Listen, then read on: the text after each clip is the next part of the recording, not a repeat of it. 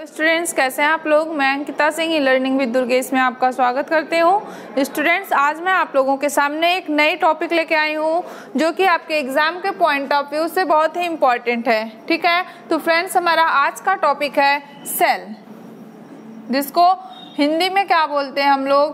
कोशिका बोलते हैं, ठीक है? हमारा आज का टॉपिक क्या है? सेल कोशिका, ठीक है? तो हम सबसे पहले आपको बता देते हैं कि कोशिका होती क्या है, ठीक है? और कोशिका की, जो स्टडी है, कोशिका का जो अध्ययन है, वो हम विज्ञान की किस शाखा में करते हैं? तो आप सबसे पहले लिखेंगे कि कोशिका का अध्ययन, कोशिका का अध्ययन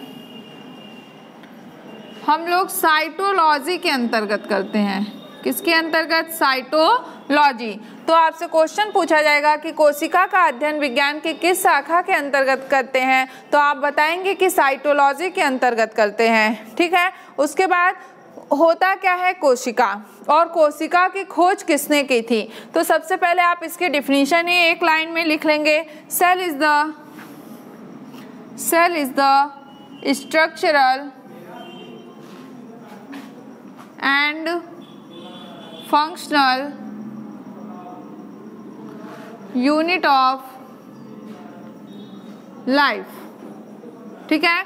Cell is the structural and functional unit of life. कोशिका प्रत्येक जीवधारी की, हिंदी में लिखेंगे, कोशिका प्रत्येक जीवधारी की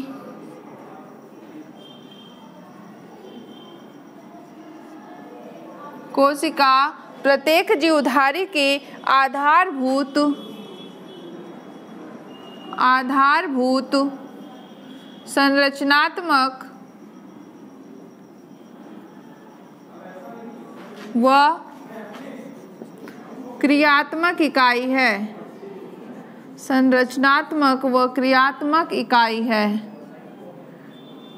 ठीक है? Cell is the basic structural and functional unit of life sorry one word cell is the basic structural and functional unit of life कोशिका क्या है? वो प्रत्येक जीवधारी की आधारभूत संरचनात्मक व क्रियात्मक इकाई है।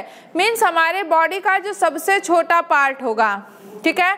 हमारे बॉडी का जो सबसे छोटा पार्ट होगा, वो क्या होगा? सेल कोशिका और उसी एक कोशिका से हमारी पूरी बॉडी का फॉर्मेशन हुआ है, ठीक है? उसी एक कोशिका से हमारी पूरी बॉडी का फॉर्मेशन हुआ है, ठीक है?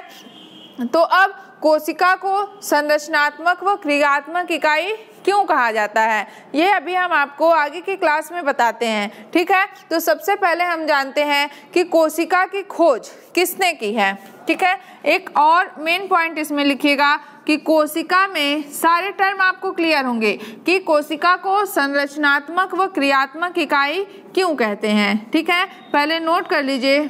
कोशिका में स्वतः जनन की, कोशिका में स्वतः जनन की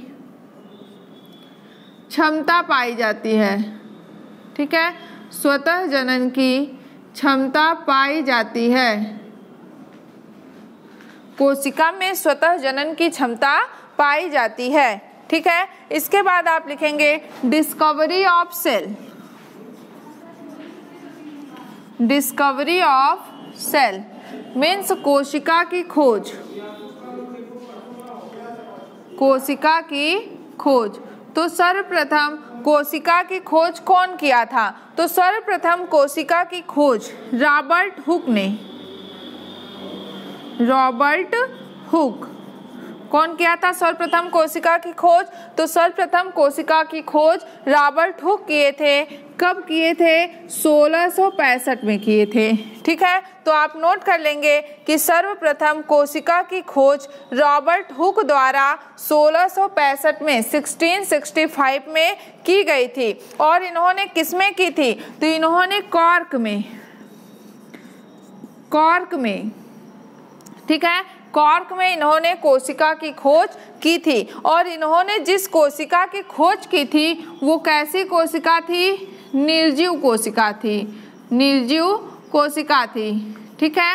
कार्क का मतलब आप लोग पेड़ों की छाल के बारे में जानते होंगे, ना? जो कि ऐसे आप उखाड़ते हैं, तुरंत उखड़ जाता है। वो क्या है? Non living part of plant वो प्लांट का एक ऐसा भाग है जिसमें कि लाइफ नहीं है नन लिविंग है, निर्जीव है, ठीक है? उसी को इन्होंने लिया था, उसी को रॉबर्ट हुक ने लेके अंडर माइक्रोस्कोप अपने माइक्रोस्कोप से जब उसका ऑब्जर्वेशन किया तो उनको उनमें कुछ इस टाइप के, मधुमक्खी के छत्ते के जैसी, ठीक है? मधुमक्खी के छत्ते के जैसी संरचना दिखाई दी, ठीक है? उनको उसमें क्या हुआ कि मधुमक्खी के छत्ते के जैसी संरचना दिखाई दी। और इस प्रत्येक, इसके हर एक पार्ट को उन्होंने क्या कहा? सेल कहा। कोशिका, कि इसका एक जो ये सबसे छोटा भाग है ठीक है? जिससे कि मिलके ये सारा, पूरा पार्ट बना हुआ है। तो ये जो छोटा पार्ट है, इसी को इन्होंने क्या कहा था? सेल कहा था। तो आपसे क्वेश्चन अगर आता है कि सर्वप्रथम कोशिका की खोज किसने की थी और कब की थी? तो आप बताएँगे कि रॉबर्ट हुक ने सोलह में, ठीक है? कैसे कोशिका की खोज? निर्जीव कोशिका की खोज। अगर क्वेश्चन में ये पूछ लिया जाए कि सर्वप्रथम सजीव कोशिका की खोज किसने की थी? तो वहाँ पे आप लोग रॉबर्ट हुक का नाम नहीं बताएँगे। तो आप लिखेंगे कि सर्वप्रथम जीवित कोशिका की खोज। रुकिए हमें लिख देते हैं, सर्वप्रथम जीवित जीवित, सर्वप्रथम जीवित तथा मुक्त। स्वतंत्र, ठीक है? जीवित तथा मुक्त कोशिकाओं की खोज, कोशिका की खोज ल्यूवेन हॉक के द्वारा की गई थी। किसके द्वारा? Leeuwenhoek.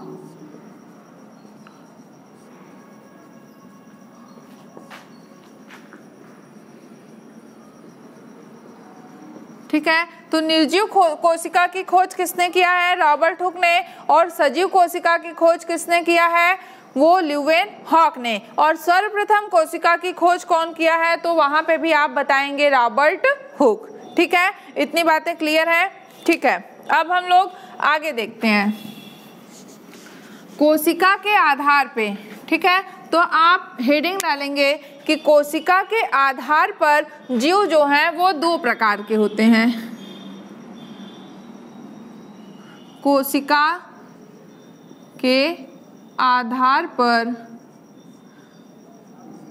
ठीक है, लिखेंगे जीव, कोशिका के आधार पर जीव। हेडिंग डालिए, फिर लिखेंगे कि कोशिका के आधार पर जीव जो हैं, वो दो प्रकार के होते हैं। वो दो प्रकार के होते हैं। ठीक है? फ़र्स्ट को हम बोलेंगे, एक कोशिकीय जीव।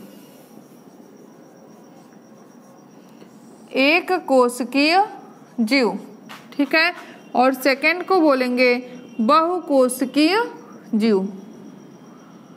बहुकोशिकीय जीव, ठीक है? एक कोश की जीव को बोलते हैं यूनिसेलुलर ऑर्गेनिज्म यूनिसेलुलर ऑर्गेनिज्म बहुकोश की जीव को बोलते हैं multicellular multicellular organisms ठीक है? अब ये एक कोष की जीव और बहुकोष की जीव होते क्या हैं? तो जो एक कोष की जीव, ऐसे जीव, लिखेंगे आप, ऐसे जीव जिनका शारीरिक निर्माण एव, केवल एक कोशिका से होता है। ठीक है? आप लिखेंगे, ऐसे जीव जिनके बॉडी का निर्माण सिर्फ़ एक कोशिका से होता है, जिनमें कि सिर्फ़ सिंगल सेल पाई जाती है। ठीक है? ऐसे जीव जिनके शरीर का निर्माण, जिनके बॉडी का निर्माण सिंगल सेल से होता है, एक कोशिका से होता है, जिनमें सिर्फ़ सिंगल सेल पाई जाती है, ऐसे जीवों को क्या बोलते हैं? एक कोशिकी। ठीक है? ये जीव हैं, पूरे जीव हैं, सभी फ़ंक्शंस को परफॉर्म करते हैं, लेकिन इनकी बॉडी का जो निर्माण हुआ है, वो सिर्फ़ एक सेल से हुआ है, एक कोशिका से हुआ है। ठीक है? तो ऐसे जीवों को क्या बोला जाता है? यूनिसेलुलर ऑर्गेनिज्म एक कोष की जीव, ठीक है? क्लियर है? देखिए, एक कोष की जीव जो होते हैं, इनमें एग्ज़ाम्पल आप लिखेंगे। एग्ज़ाम्पल तो सभी लोग जानते होंगे, बचपन से सब लोग पढ़ते हैं। अमीबा पैरामीशियम यूगलिना ठीक है? कुछ बैक्टीरिया सभी बैक्टीरिया नहीं देखिए। कुछ बैक्टीरिया ठीक है? कुछ एलगी, वो सभी किस कंडीशन में आते हैं? एक कोष के जीव की कैटेगरी में आते हैं, ठीक है? जिस भी जीव का निर्माण सिर्फ़ एक कोशिका से होता है, ठीक है? जिन जीवों का निर्माण निर्माण नहीं, जिन जीवों में सिर्फ़ एक कोशिका होता तो निर्माण तो सभी जीवों का एक कोशिका से ही होता है। वही कोशिका डिवाइड होते होते ढेर सारी कोशिकाओं में कन्वर्ट हो जाती है और एक जीव का निर्माण हो जाता है। ठीक है? लेकिन ऐसे जीव, जिनके पूरी बॉडी में, चाहे जिस स्टेज में वो हो, वो सिर्फ़ सिंगल सेल ही पाई जाए। नंबर ऑफ़ सेल बढ़े न सेलों की कोशिकाओं की संख्या बढ़े न, उनको क्या बोलते हैं? यूनिसेलुलर ऑर्गेनिज्म सिस्टम्स एक की जीव। उसके बाद बहुकोष की जीव। तो ऐसे जीव ऐसे जीव जिनमें कि ढेर सारे सेल पाए जाते हैं, ठीक है? ऐसे जीव जिनमें एक से अधिक सेल पाए जाते हैं, उनको क्या बोलते हैं? बहुकोष की जीव। तो आप लिखेंगे, ऐसे जीव जिनमें एक से अधिक एक से अधिक कोशिका पाई जाती है।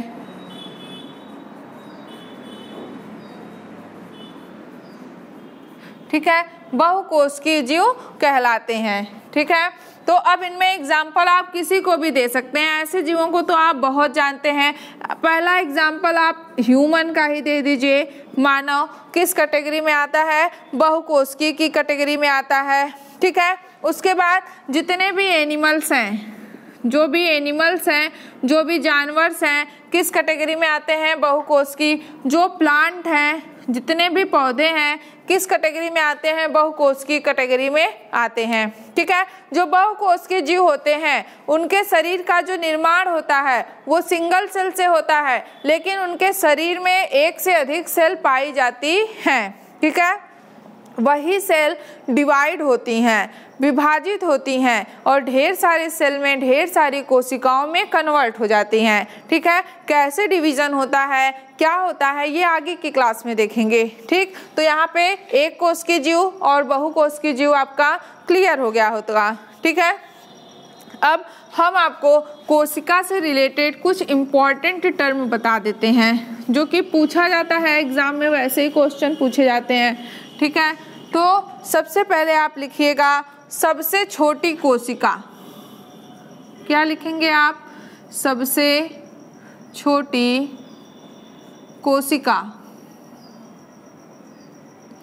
तो सबसे छोटी कोशिका कौन सी है? आप लिखेंगे माइकोप्लाज्मा गैलीसेप्टिकम माइकोप्लाज्मा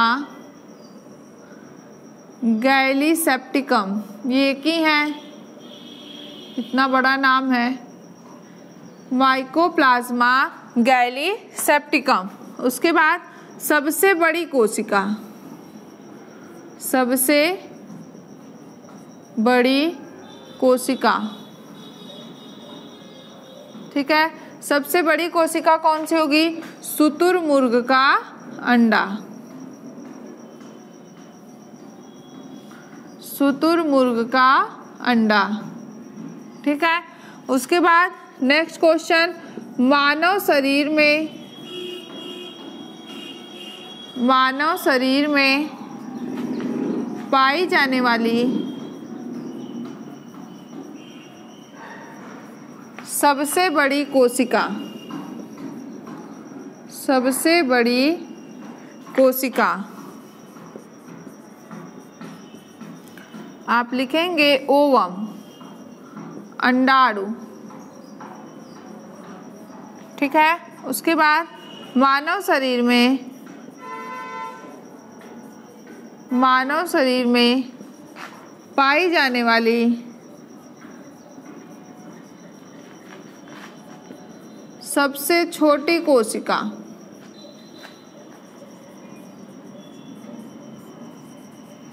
मानव शरीर में पाई जाने वाली सबसे छोटी कोशिका। तो मानव शरीर में पाई जाने वाली सबसे छोटी कोशिका है सेरिबेलम की। सेरिबेलम की ग्रेन्यूल कोशिका। ठीक है? सेरिबेलम की ग्रेन्यूल कोशिका। ठीक है? उसके बाद एक टर्म और मानव शरीर में मानव शरीर में पाई जाने वाली सबसे लंबी कोशिका, सबसे लंबी कोशिका, ठीक है? तो मानव शरीर में सबसे पाई जाने वाली सबसे लंबी कोशिका कौन सी हो जाएगी? न्यूरॉन। ठीक है? ये कोशिका से रिलेटेड फाइव टर्म्स हैं। सबसे छोटी कोशिका माइकोप्लाज्मा गैलीसेप्टिकम सबसे बड़ी कोशिका सुतुरमुर्ग का अंडा। ठीक है? सुतुरमुर्ग का अंडा। मानव शरीर में पाई जाने वाली सबसे बड़ी कोशिका, आप बताएँगे ओवम या अंडाणु।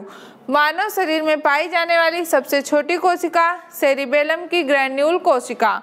उसके बाद मानव शरीर में पाई जाने वाली सबसे लंबी कोशिका तो आप बताएँगे न्यूरॉन।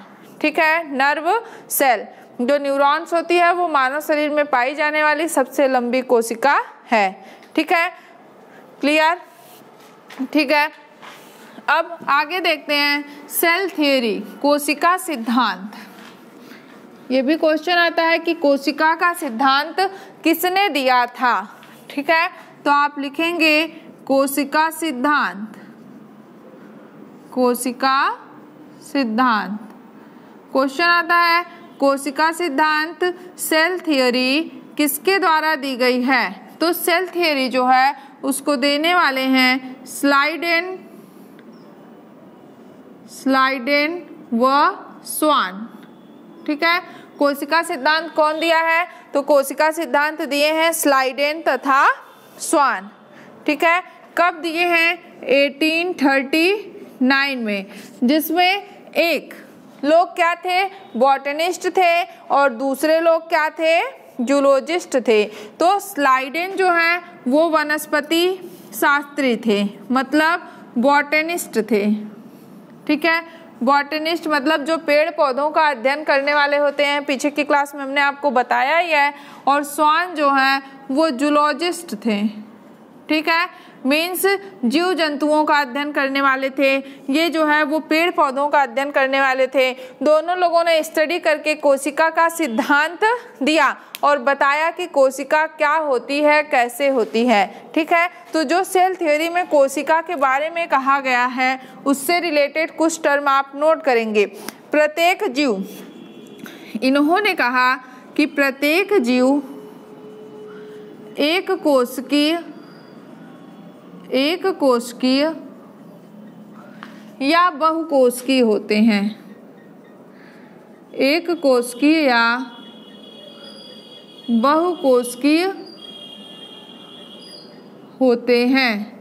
ठीक है? प्रत्येक जीव कैसे होंगे? जो भी जीव है, जितने भी लिविंग बींग्स हैं, वो या तो यूनिसेलुलर होंगे, या तो मल्टी सेलुलर होंगे। ठीक है? प्रत्येक कोशिका का निर्माण। इन्होंने कहा कि प्रत्येक कोशिका का निर्माण, प्रत्येक कोशिका का निर्माण पहले से उपस्थित, पहले से उपस्थित कोशिका से होता है। पहले से उपस्थित कोशिका से होता है। ठीक है? प्रत्येक जीव एक कोशिकी या बहुकोशिकी होते हैं। प्रत्येक कोशिका का निर्माण पहले से उपस्थित कोशिका से होता है। ठीक है? और प्रत्येक जीव की उत्पत्ति, ठीक है? थर्ड टर्म इनका क्या था? कि प्रत्येक जीव की उत्पत्ति कोशिका से ही हुई है। कोशिका से ही हुई है। जब प्रत्येक जीव की उत्पत्ति कोशिका से ही हुई है तो क्या होगा? कोशिका आधारभूत संरचनात्मक इकाई हुई ना? जब ये क्या कर रही है? एक सभी जीवों को एक बेस प्रदान कर रही है, क्योंकि कोशिका से ही सभी जीवों की उत्पत्ति हो रही है। ठीक है? तो इसलिए कोशिका को क्या कहा गया है? आधारभूत संरचनात्मक इकाई। एक टर्म आपका क्लियर हुआ। अभी क्रियात्मक इकाई के बारे में बचा हुआ है, ठीक? तो पहले कोशिकीय सिद्धांत देखते हैं। कोशिका का सिद्धांत अठारह सौ उनतालीस में स्लाइडेन व सोन नामक साइंटिस्टों के द्वारा, वैज्ञानिकों के द्वारा दिया गया था, ठीक है? जिनमें से जो स्लाइडेन थे, वो बॉटनिस्ट थे मीन्स वनस्पति विज्ञानी थे। ये पेड़ पौधों का अध्ययन करने वाले थे, स्वान जो थे वो जूलॉजिस्ट थे मीन्स जीव जंतुओं का अध्ययन करने वाले थे। इन दोनों लोगों ने स्टडी करने के बाद जो थियोरी दी, उससे कुछ रिलेटेड टर्म्स आपके सामने है। प्रत्येक जीव एक कोशिकी या बहुकोशिकी होता है। जितने भी जीव होते हैं, जो भी सजीव हैं लिविंग थिंग्स हैं, वो या तो यूनिसेलर होंगे या मल्टीसेलर होंगे। प्रत्येक कोशिका का निर्माण पहले से उपस्थित कोशिका से होता है और प्रत्येक जीव की उत्पत्ति कोशिका से ही हुई है। ठीक है? जो भी जीव, जितने भी जीव उत्पन्न हो रहे हैं, वो किससे हो रहे हैं? सेल से हो रहे हैं। कैसे हो रहे हैं? कंटिन्यू पढ़ते चलिए, आगे पता चल जाएगा। ठीक है? इतनी बातें क्लियर हैं? अब देखिए, जब समान सेल, जब समान सेल, एक ही तरह की सेल एक दूसरे से जुड़ती हैं तो वो क्या करेंगी? टिश्यू का उतक का निर्माण करती हैं। जैसे मान लीजिए चार तरह की सेल पाई जा रही है, ठीक है? ये चार तरह की सेल पाई जा रही है, ठीक है? ये चार तरह की सेल हैं, ये चार तरह की कोशिकाएँ हैं, ठीक है? चार तरह की कोशिकाएँ हैं। अब जब इस तरह की, इस तरह की एक ही जैसी ढेर सारी सेल एक दूसरे से जुड़ेंगी, ठीक है? इस तरह की ढेर सारी सेल एक दूसरे से क्या होंगी? जुड़ेंगी। ठीक? तो ये क्या बना लेंगी? ये बना लेंगी टिश्यू, उतक। ठीक है? ये क्या बना लेंगी? टिश्यू बना लेंगी, उतक बना लेंगी। ठीक है? तो आप जानते रहिए कि जब समान प्रकार के सेल जब समान प्रकार के सेल एक दूसरे से जुड़ते हैं तो वो किसका निर्माण करते हैं? टिश्यू का निर्माण करते हैं, उतक का निर्माण करते हैं। और जब समान प्रकार के उतक, ठीक है? अब जैसे उतक हो गए ये, अब ऐसे ही उतक, ठीक है? ऐसे ही ढेर सारे उतक क्या होंगे? एक दूसरे से ज्वाइन होंगे। जब समान प्रकार के उतक क्या होते हैं? एक दूसरे से जुड़ते हैं। ठीक है? अब ये चारों उतक एक दूसरे से मान लीजिए जुड़ गए, ना? जब समान प्रकार के उतक एक दूसरे से जुड़ेंगे तो वो क्या बना देते हैं? अंग बनाते हैं, आर्गन बनाते हैं, जो कि स्पेसिफिक फ़ंक्शंस को परफॉर्म करता है। जैसे मान लीजिए ये हैंड बना रहा है, ठीक है? ये लेग बना रहा है ठीक है? ये माउथ बना रहा है, ठीक है? और ये जो है वो फिंगर बना रहा है, ठीक है? ये चार सेल हैं, ये चारों सेल पहले टिश्यू में कन्वर्ट होते हैं और उसके बाद सेम टाइप के टिश्यू एक दूसरे से मिलके ऑर्गन में कन्वर्ट होते हैं। तो सभी ऑर्गन क्या करेंगे? एक स्पेसिफिक फ़ंक्शंस को, विशेष प्रकार के कार्यों को करते हैं। जैसे ये हाथ है, हाथ हमारे पास भी है, आपके पास भी है। है ना? सभी के पास है। लेकिन ये हाथ का जो काम है, वो क्या है? सब में देखिए सेम है। क्यों? क्योंकि ये सेम टाइप के सेल से मिलके बना हुआ है। बस इनका जो नंबर होगा, वो क्या होगा? डिफरेंस होगा। जैसे आपका हाथ छोटा है ना? तो आप में जो नंबर ऑफ़ सेल हैं वो कम होंगे। जिसका हाथ बड़ा होगा उसमें जो नंबर ऑफ़ मतलब सेलों की संख्या जो है वो ज़्यादा होगी। लेकिन सेल जो होंगे वो क्या होंगे? सेम टाइप के होंगे। एक ही जैसे होंगे। ठीक है?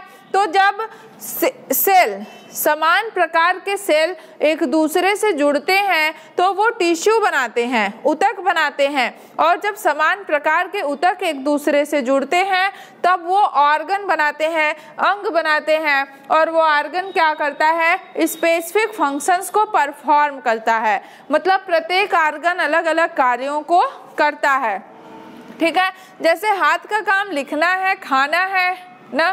कोई काम करना है तो ये सब आप हाथ से ही करेंगे, ठीक है? इसके बाद इसके बाद पैर का काम चलना है, दौड़ना है, ना?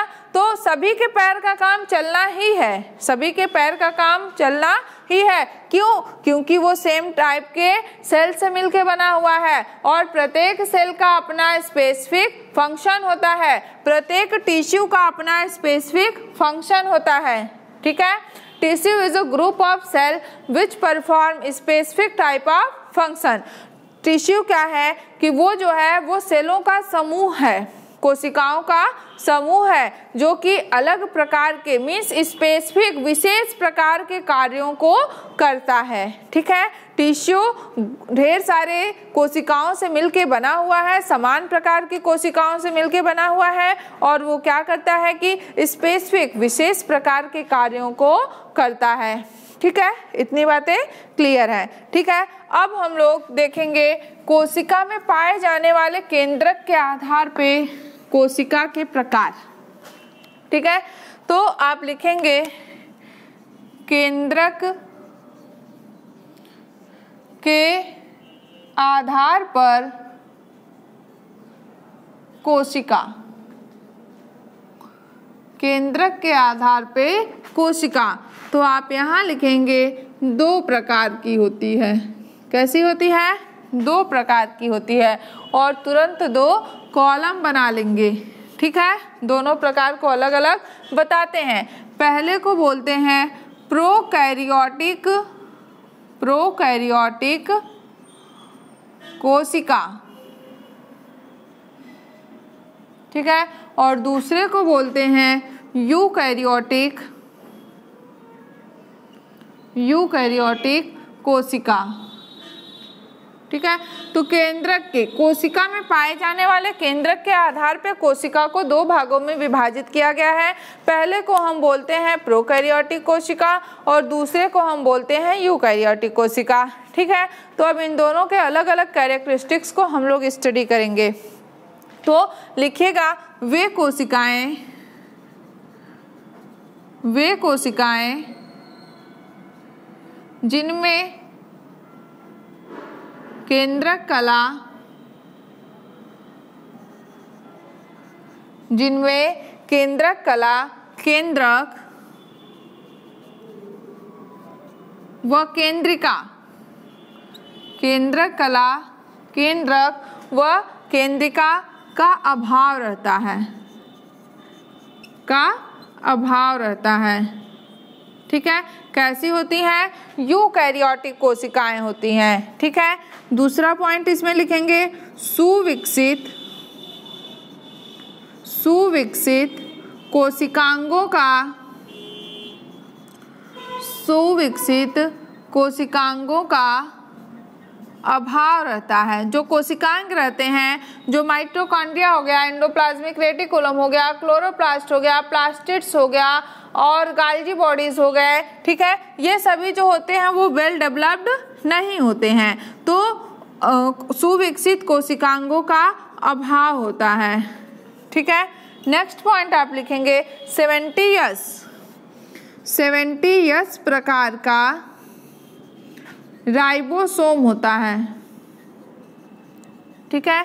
सेवेंटी एस प्रकार का राइबोसोम होता है। ठीक है? उसके बाद लास्ट पॉइंट लिखेंगे, जो केंद्रक केंद्रक पदार्थ मतलब केंद्रक पदार्थ का मतलब जो केंद्रक में उपस्थित पदार्थ होते हैं, जैसे केंद्रक द्रव्य हो गया गुणसूत्र हो गया, जीन हो गया, ये कोशिका द्रव्य में बिखरे रहते हैं। ठीक है? ये कोशिका द्रव्य में बिखरे रहते हैं। ठीक है? ये कोशिका द्रव्य में बिखरे रहते हैं। ये बात किसकी हो गई? प्रोकैरियोटिक कोशिकाओं की। ठीक है? एक पॉइंट और लिखिएगा। क्या? कि गुणसूत्र में गुणसूत्र में हिस्टोन प्रोटीन का हिस्टोन प्रोटीन का अभाव रहता है। ठीक है? गुणसूत्र में हिस्टोन प्रोटीन का अभाव रहता है, ठीक है? अब ये प्रोकैरियोटिक कोशिकाएँ जो हैं, वो किन में पाई जाती हैं? तो एग्ज़ाम्पल आप, उदाहरण जो है, वो इधर देख लीजिए। दिखाई दे रहा है, नीचे आपको दिखाई नहीं देगा। तो जो बैक्टीरिया होंगे मीन जो जीवाणु होंगे जो वायरस होंगे मीन जो विषाणु होंगे, उसके अलावा ब्लू ब्लू ग्रीन एल्गी नील हरित सवाल इन सभी में प्रोकैरियोटिक कोशिकाएँ पाई जाती हैं, जिनमें कि वो कोशिकाएँ जिनमें केंद्रक कला, केंद्रक व केंद्रिका का अभाव रहता है, सुविकसित कोशिकांग का अभाव होता है 70 एस टाइप का राइबोसोम पाया जाता है, केंद्रक पदार्थ कोशिका द्रव्य में बिखरे रहते हैं गुणसूत्र में हिस्टोन प्रोटीन का अभाव रहता है।